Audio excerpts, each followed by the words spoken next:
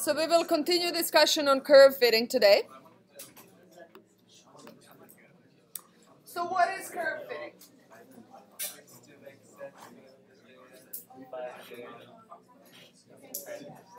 Okay, making sense of data. Okay? So curve fitting.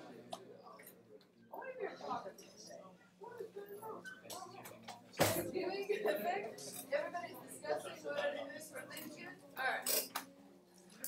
So I'm trying to make sense of data. Typically, I'm plotting various type of properties against each other, and I would like to find a functional relationship even when there is none. I know that things are related, or maybe I'm just looking at things. How are they related in general, if at all? Okay, and I would like to figure out what sort of a potential relationship I have, so that next time around I can actually try to predict something based on my uh, historical behavior. So that's not necessarily. I sometimes like I, I would like to have physical laws that would take, tell me how things uh, change with respect to certain other properties, but that might be too complex, especially in subsurface.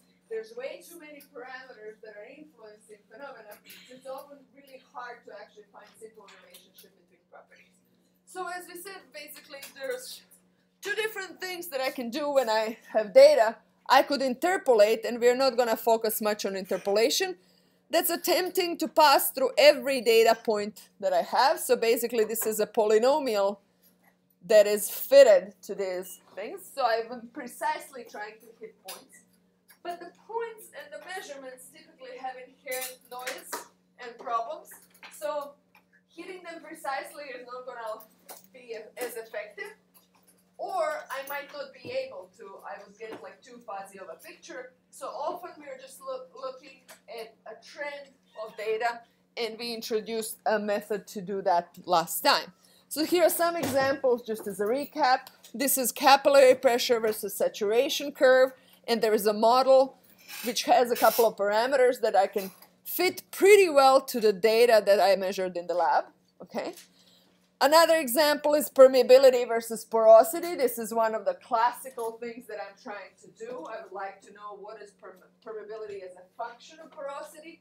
Understanding very well that it's not always a perfect function, but nevertheless, here I can actually fit a sort of a nonlinear function pretty well to this scatter plot of experimental measurements. And then this is for sandstones. So next time in a, I'm in a different sandstone reservoir, I can use this and as idea what permeability should be in that reservoir. Okay, great. So we introduced linear regression. We had uh, uh, a worksheet that I picked up and also left at home, but they'll be graded as your quiz. Uh, essentially, we developed how to get a so-called linear fit to the data. So that's the simplest line that I could fit that fits the data well. And today we will tell what that well means. So what I'm looking at, typically, is I take my data points, okay, and I find the difference between my data and this linear prediction. Right now I don't know what this linear prediction is, but I'm going to call it A0 plus A1x. I have two parameters that are defining the line, and I'm trying to basically minimize sum of squares of these errors. And for various reasons, squares kind of behave the best and allow me to find this medium uh, minimum. So I'm not going to go over details again why, but basically with, for every point, I'm looking at the difference between the actual data and this linear prediction. Okay, and some of I take sum of the squares of those, and if I'm trying to minimize a function like this, this is a function, I know the data xi, yi, so those are the known parts. Unknown parts are a0 and a1. And we said that if I had a function of one variable, f of x, then f prime of x at the minimum would be 0, right? Similar is true for partial derivatives, so I can take partial derivative of this SR with respect to a0 and set it to 0. And I can take the partial derivative of this function SR with this respect to A1, and we went through that exercise last time, and set it as zero as well. And that essentially, so this is my SR, partial derivative with respect to uh, uh A0 is actually this, and this sum goes from 1 to n. Okay? And this is for all of the points we had. We had a specific example of two points, but it generalizes easily. And partial derivative with respect to A1 is this. Okay? And that those are actually linear relationships in terms of A0 and 1, linear equations. So actually when I do the math, I will get that it's n times a0 plus sum of all of the xi's times a1 is equal to sum of all of yi's. This is just a sum, I know it. I know the data, so I know what this sum is. Okay? I know how to use a for loop to compute it, right? I know how to compute this as well. so this is just a linear equation in A0 and A1. Same thing I have from the second one, it's just that these sums are a little more complex, but nothing that I cannot do. Okay. So I have two equations and two unknowns. This we know how to solve. So basically for two by two system, I really, it's a simple one, a simple thing to solve, and we can actually have explicit formulas that give me A0 and A1. Now let's assume that I want to compute this. So let's open MATLAB.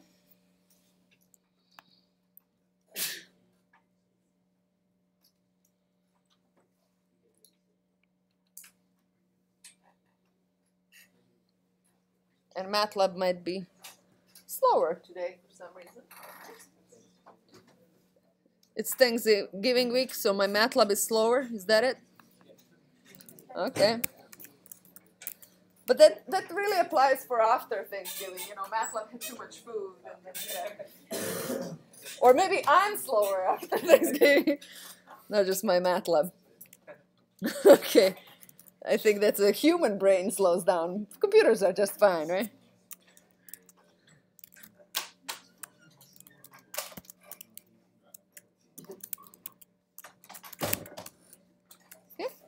So let's say that I have x and y, some data. It doesn't matter which one. I'm just now gonna come up with two vectors.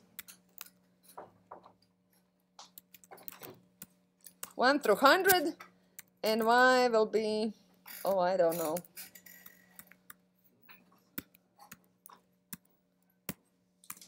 Just doesn't matter what, okay? I'm just creating myself two vectors. So if I have a sum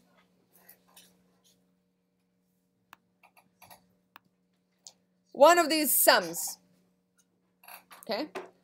Let's say that n is my number of elements in X.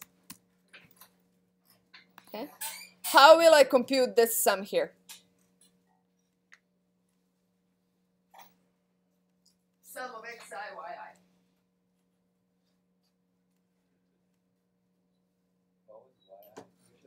I have two vectors, x and y. So that's my data. It came in, I read it, and it's in my MATLAB.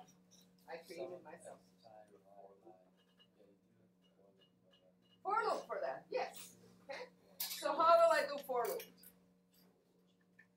What, sh what shirt color should I target? Shirt colors? Black. Maroon. Maroon? I don't think we have any. Teal. Wow. Yeah, that's that's a good one. Let's go with black. one. Any black shirts? We do have. So how do I compute this sum? Just some, just one of these sums. For?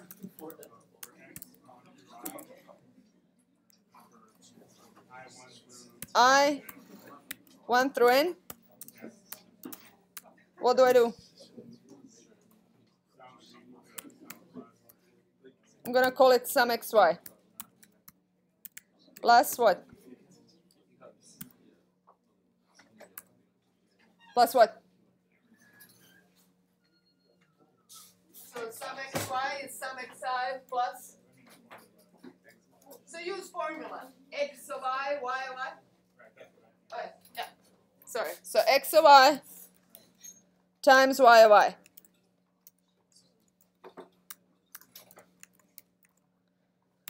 And end. Uh, oh, what happened here?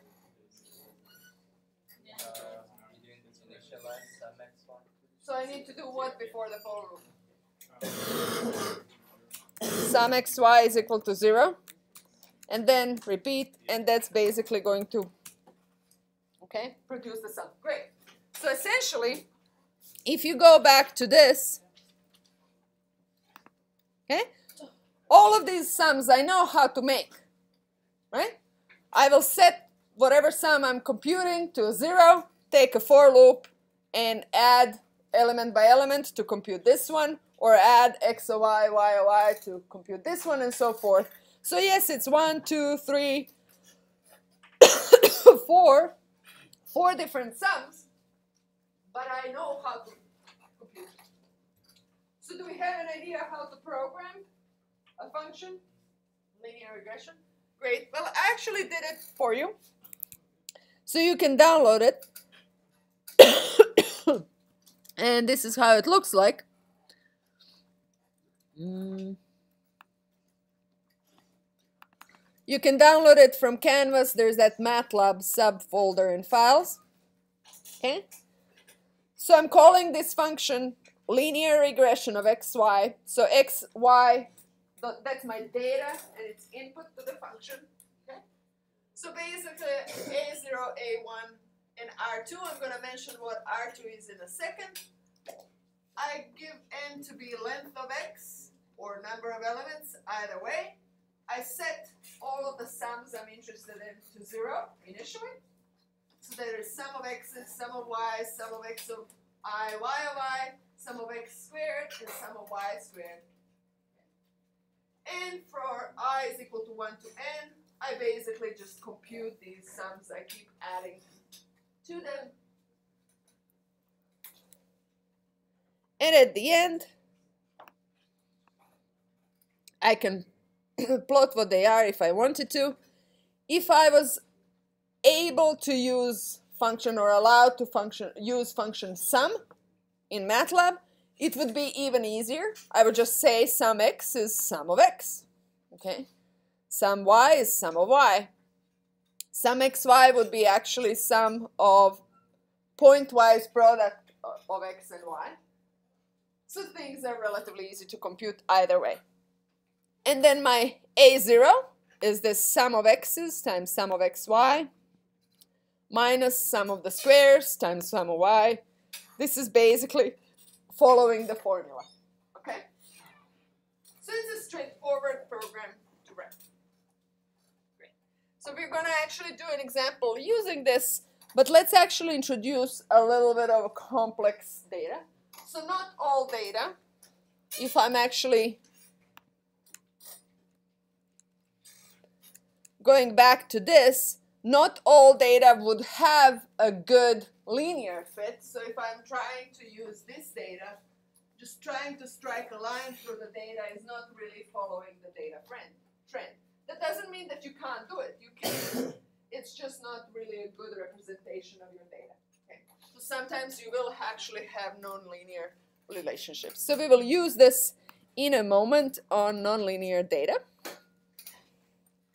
But before that, let me just introduce how do I know that I have a good fit or not? There is one measure, it's not perfect, but I would like some number that will basically differentiate between this fit and this one.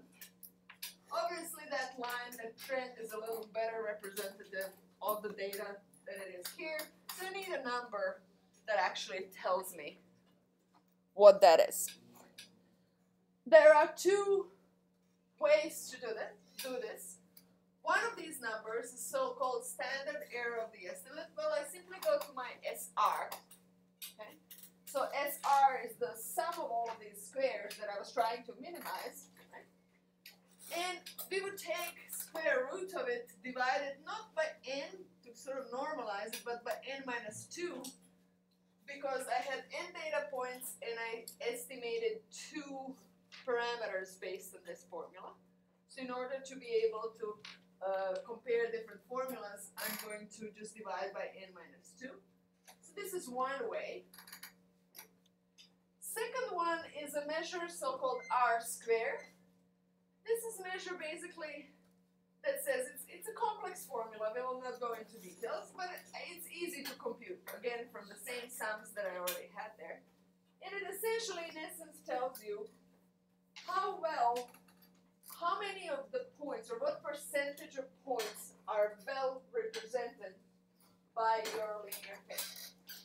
So if this measure is 1, or 100%, so if I'm looking at it as a fraction, it's a perfect fit. If it's 0, it's not at all. Typically below 0.5 is bad. Okay? And I'm looking for good fits, I'm looking for more than 0.8. Okay, so I want R squared to be, R square actually, not R, to be more than 0.8, give or take though different problems might have, sometimes you have problems where you know that you simply cannot do really well no matter what. If you were predicting human behavior, good luck with any prediction that is going above 0.5. human behavior is a little difficult to predict. Okay? You could say subsurface can be finicky just as well. So sometimes 0.5 will be great given all the other fits that you're doing in that uh, in that area.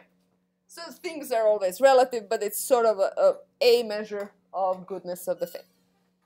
And we can compute it. Okay.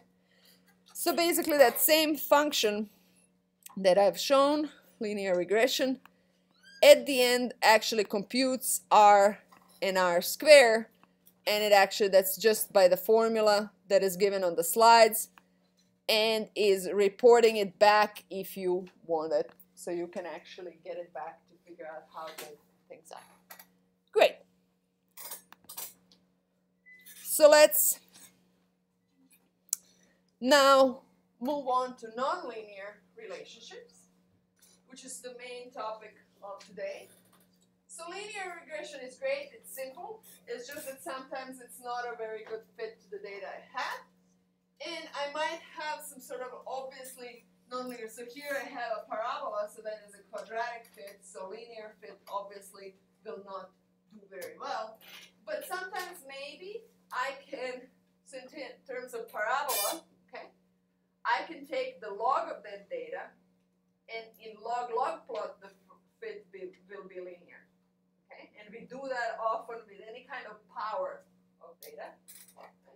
So basically I can create linear fits by taking log of the data. Let's see how that works. So essentially, let's say that my data, okay, that I just ha actually have a functional relationship that y is equal to a1 e to the b1x. Let me do the full, okay? So take the natural log of both of these sides.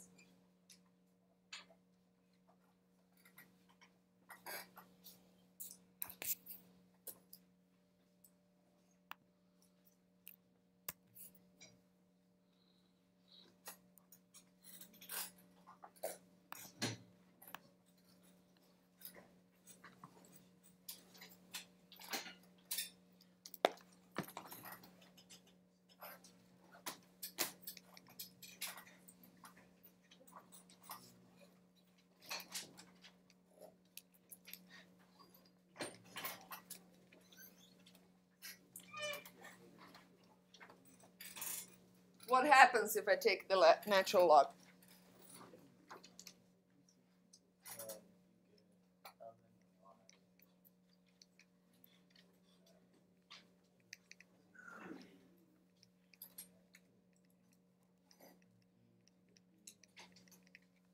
Since this is a product, right, it's the same as ln a1 plus ln of e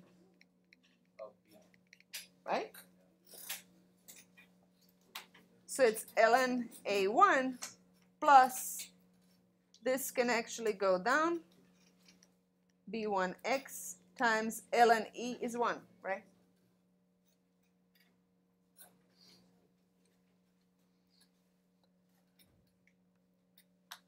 So originally, this was a nonlinear relationship, right?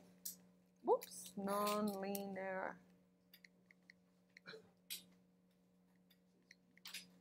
Between x and y. Okay. But here I actually, so I have that ln y is ln a1 plus b1 times x.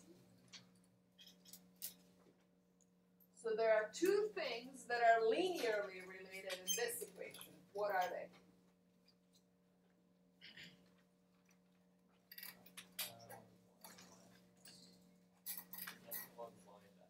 So L and Y and X are related in a linear way, right? I'm going to call this maybe uppercase Y. I'm going to call this uppercase X just because. So X is same as X, Y is ln Y.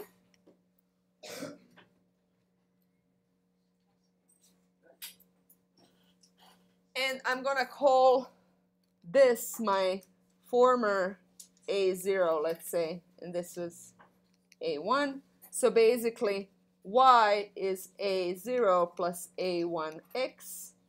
This is what my x is, this is what my y is. A0 is my ln A1, and A1 is B1. So basically this, this nonlinear relationship became this linear relationship given that this is true.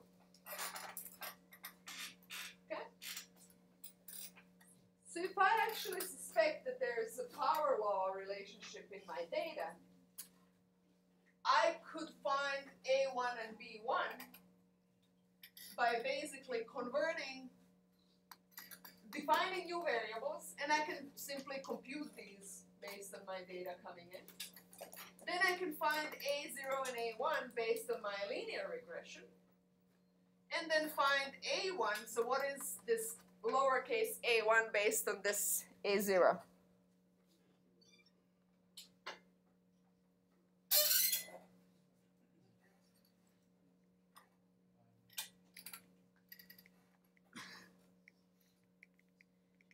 Yes? This math correct? Okay, so by A1 is simply then e to the A0. And my B1 is, well, just A1. Yeah? So then I can, my original data is then related as lowercase y is a1 e to the lowercase b1 x. Is it clear how I go back and forth? I have to have an idea though that this should work, okay, that this relationship is working. So every time I'm looking to fit the data, I have a functional relationship in mind before I start doing it. And then I fit it. Maybe it works, maybe it doesn't. I look at the data.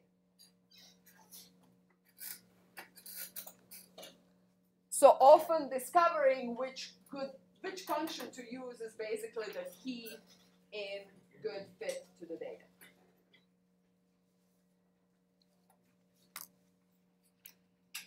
Okay, I think we're ready for an exercise. Does that actually work though? Just converting it like that? It? It's mathematically equivalent.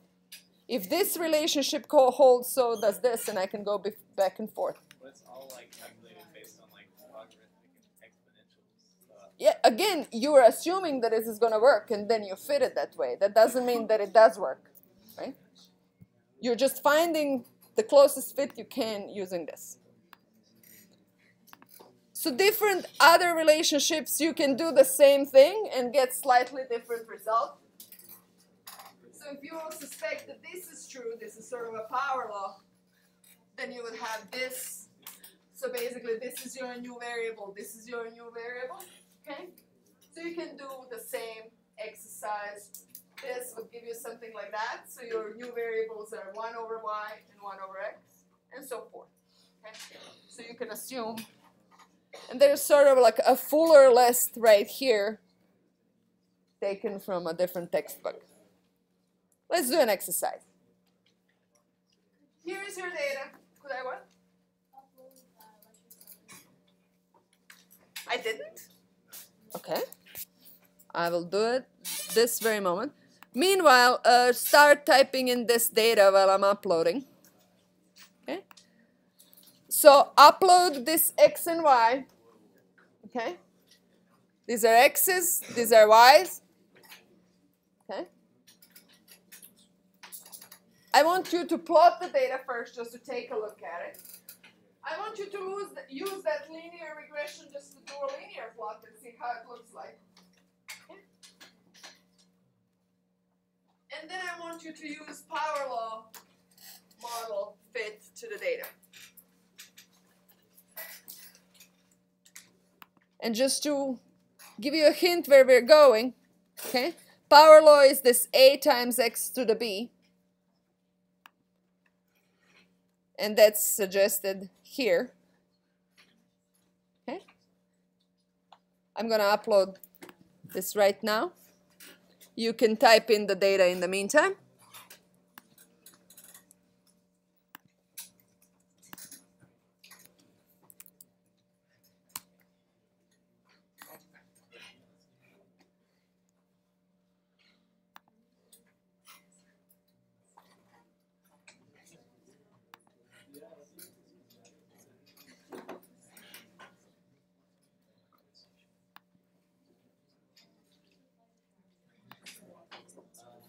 Oh, I didn't indeed.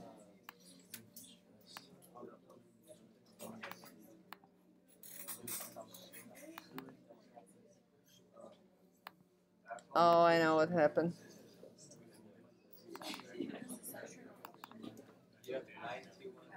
It went to the wrong.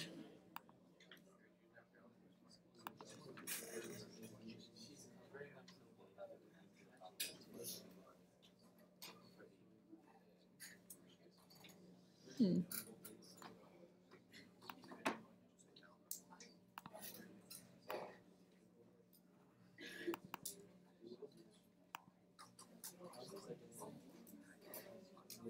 Hmm.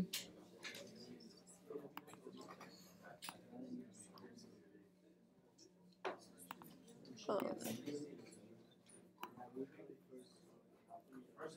There we go. Okay. Lecture is uploaded.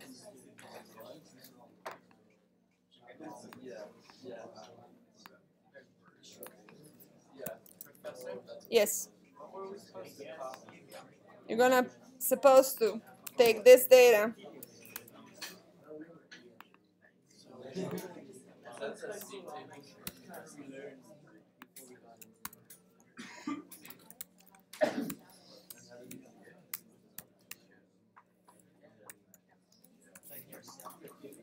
So this is how data looks like.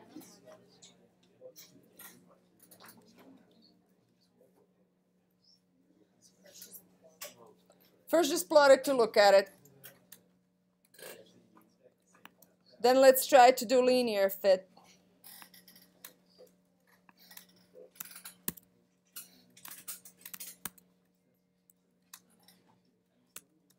Okay. So this is what a basic linear fit gives me as A0 and A1. So if I say hold on and plot a line, x and a0 plus a1 times x. So that's my linear model, right? To data.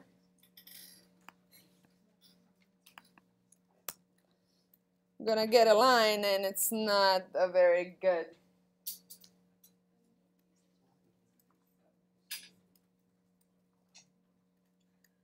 So I'd like to fit a power law model to it. and power law is this one.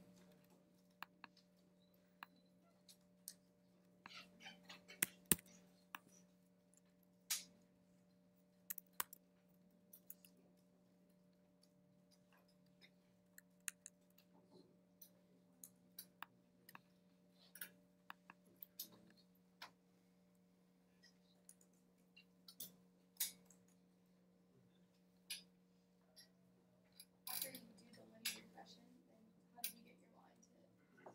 So once you get the you got your A0 and A1, right?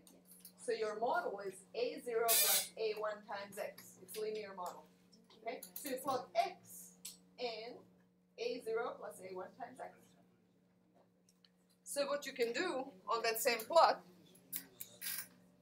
I said hold on and plot X and A0 plus A1X. Yeah? And that added that line.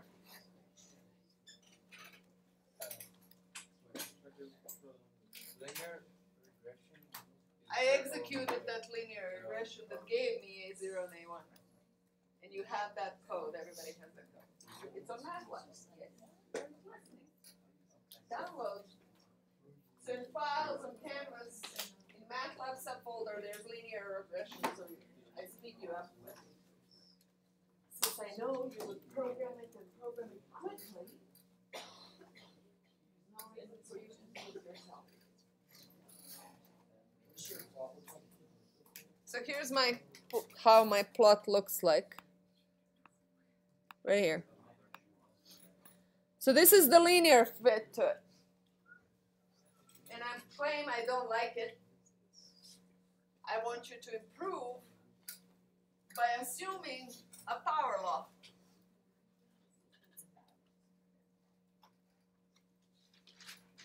And in the same exercises I just did by hand in a slightly different relationship. If you do log of both sides, and whether you do natural log or log 10 doesn't really matter.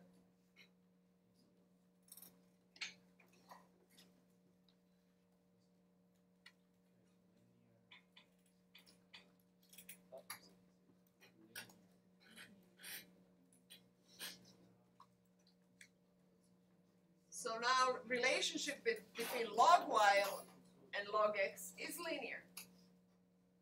And I can use linear regression to find this coefficient and this coefficient.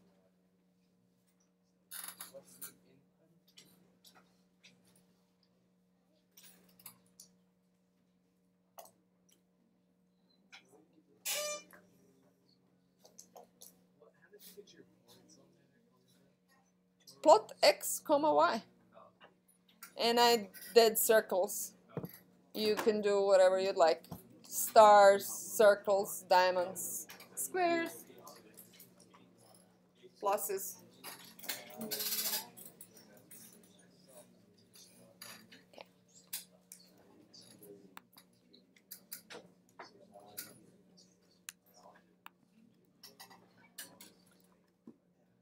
This is what you're shooting for. This power law fit looks like this. how do you get circles? Oh. That's uh, exam one. This little O. You can do something else. Doesn't have to be circles. Can be points. Can be stars. Here you go.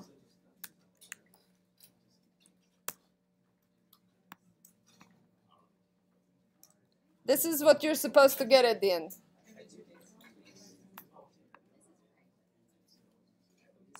Then we use the power. Yes, so power law fit gives, gives a slightly better fit. It's right here. So let's see who's gonna first come up with that. This is a competition. No, I don't like it. Plot x.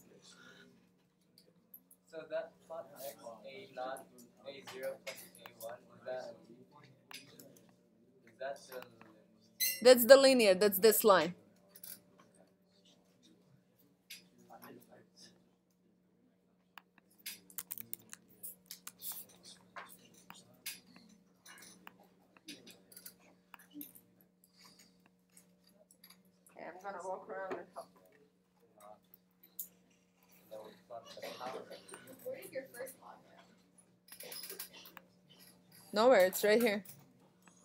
I still have those circles. Yeah. Okay. And then I have yellow stuff on top because it chose a yellow color again when I did this. Line to go away. though. That, that curved line. This, So that spot right there is just y equal a naught plus a. yeah. And I, I got A0 and A1 from linear regression. Is everybody clear? Uh, what is fit doing? So I got this by applying linear regression. Okay? So this is now my prediction with that linear plot, right? So I'm plotting x and this prediction, and it's not a very good one because it's not. Okay? That's the line right there. So I want you to use the power law to improve on it. Yes? For the power law, is A two do we use for you A one? So I'm assuming this relationship. So you will form a new variable log y and another one log 10, uh, log, log x. Okay? So then you will use linear regression with log x and log y. Okay? And you will get two coefficients. Do we use ln of x in MATLAB? So your first coefficient, you can use ln, log or ln, same thing. Okay. So your first coefficient, let's call it uppercase A0, is log of A2. So you need to recover what A2 is. Oh, is that what it's called? Yeah, take a piece of paper and figure out. What log of A two? Right. Do we know what B two is? B two R R two. B2 is same as A0, A1. Oh.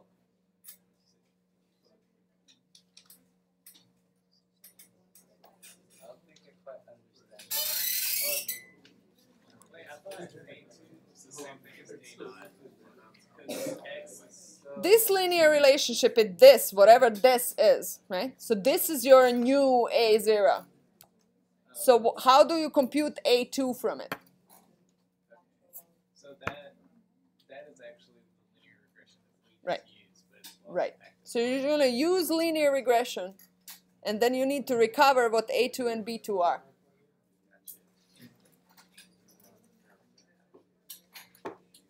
So what did you do for um, x, y star side? This, this is just changing the sizes on the plot so I can read. This is now size 18, this font size. And star it chose yellow color because I replotted. Okay. Plot x, y. That I don't like because I want points. So I'm gonna say plot x, y stars. Same thing. I was playing with it. And now I want to see how did my so I executed the linear regression based on the data x and y, and I got my coefficients a0 and a1. Okay. So then when I hold on, oops, hold on, and I plot x and a0 plus a1 times x. So this is my prediction, my linear regression. Then that's the line. And it's not a very good fit. That R2 is below 0.8. Um, And this is something that is returned by that function. So now I'm saying, okay, let's try to improve assuming this. let me show you. So A one is I'm gonna say x is log of x. And y is log of y. Okay?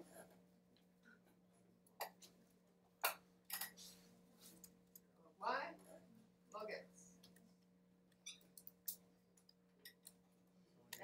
thank you MATLAB, I can just type it in like that and got the entire, get the entire vector. Yes? So we're solving for A two. So now I'm assuming these two are linearly re- re- related. So use linear regression to find this coefficient and this coefficient. Now you do big X and big Y for linear regression. You just that's it. Yeah. Complicated. You just want me to fit instead of you. No, it's just because it's used use different uh, notation here and in the slide. So I Well, I have to call it something. yeah. It's just I have I'm having some uh, You don't have to, you can just use. understanding which one's A two and B two. You can do this. I don't care. You can do that. Or you can do this.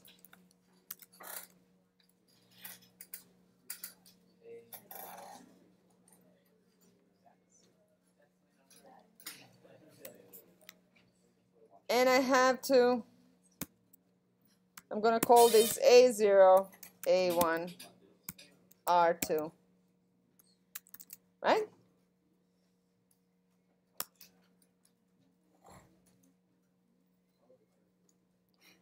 So now I have this A0 and A1. And question of the day is how do I now plot this power law plot here with my data? So these A0 and A1 are this linear fit here. So this is my A0 and this is my A1. So A zero is L and A, right? a0 is ln or log of a2. So what do I need a2? Because my assumed relationship is y is y2 a2 times x to the b2. Yeah, so it's just a2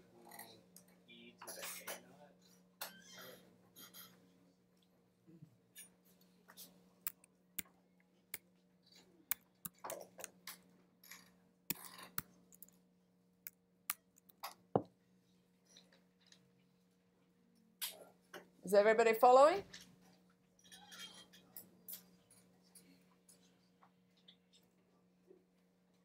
This is my A0.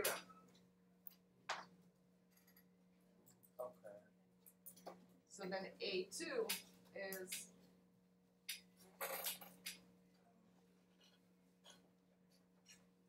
Is A two log what? A0 is log of A2. How do I get Oh. A2? Oh, Calculus 1? okay. Calculus minus 1? High school? Not calculus 1, it's calculus minus 1. Okay? So what is my B2?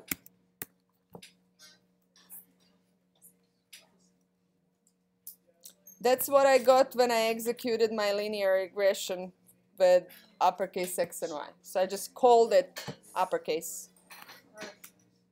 You can call it something else. Yeah, so you're you wanna know what your A one is? Or your- What is my B2? no, it's A one. Right, capital A two, right? Is everybody seeing this?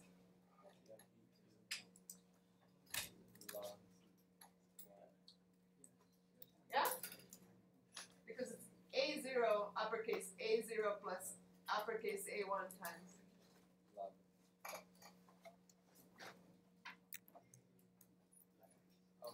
Oh.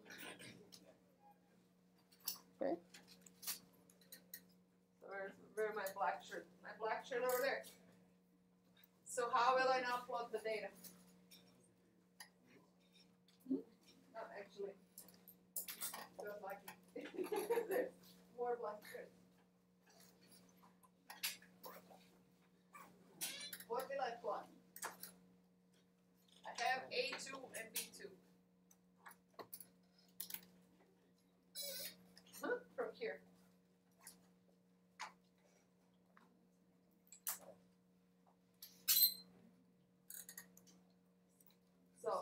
assuming my data is in this form, some a2 that I don't know times x to the b2 that I don't know. Looking for a2 and b2. Okay. I transform this relationship by taking a log of it into something that is linear relationship between log y and log x. Yes? And then my linear regression gives me this coefficient and this coefficient. Okay? So this is my uppercase A0. Give me a moment now, because you're gonna have to submit this tonight. You're gonna have to submit this. A0, A1. Okay? So I computed A2 and B2 from this A0 and A1. Okay. So how will I now plot this data fit here on this plot? If I have A2 and B2, what am I plotting?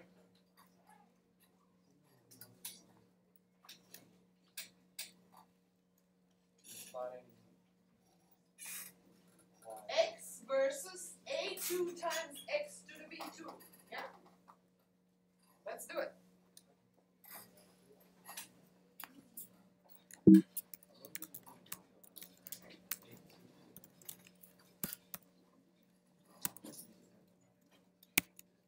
Because that's my assumed relationship between X and Y. Yes?